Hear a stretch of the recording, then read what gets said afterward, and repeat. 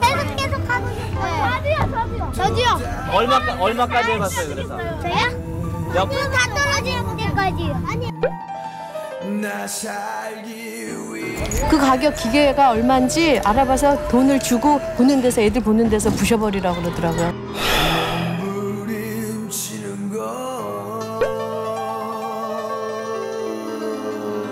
집게를 이용해 생쥐 일종인 애완용 햄스터를 뽑는 게임입니다.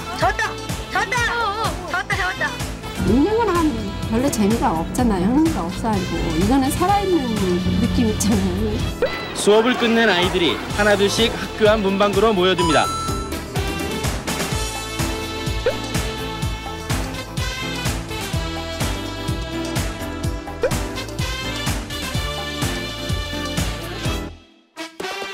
동전을 넣으니 슬롯 머신 기계처럼 숫자판이 돌아갑니다.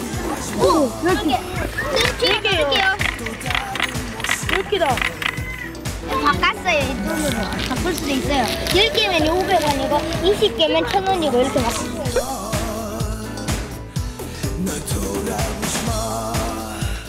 한 3분에서 5분 정도밖에 안 걸려요. 얼마 잃는데? 예? 천원 정도.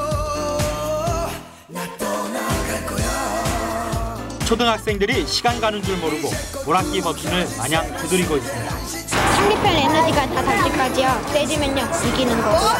스릴 있고 멋있잖아요.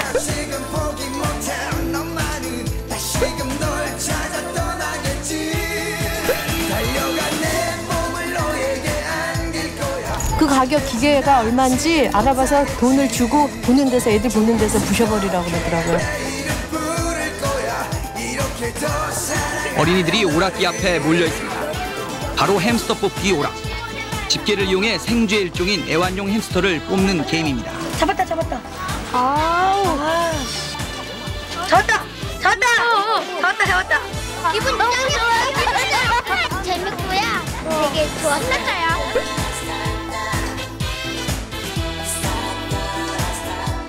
별로 재미가 없잖아요. 흥미가 없어가지고 이거는 살아있는 느낌 있잖아요. 학교 정화구역 안에는 오락기를 설치하지 못하기 때문에 과자 등을 파는 자판기로 교묘히 형식 승인을 받은 것입니다. 오락기 자체에 허가를 받은 거기 때문에요. 사 회에서